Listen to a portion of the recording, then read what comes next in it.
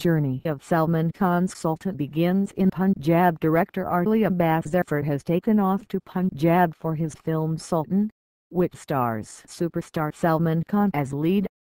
Zafar, who has also written the film, took to microblogging site Twitter to share the news.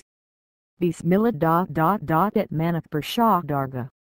Punjab number sign Sultan dot dot dot the journey begins, Zafar posted produced by Aditya Chopra under his Yash Raj Films banner. The movie is reportedly based on the life of a wrestler and the Dabangg star will be seen in an action avatar as a wrestler. The leading lady of the film is yet to be announced.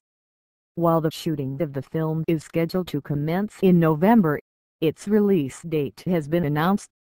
It will hit the screens on auspicious occasion of Eid in 2016.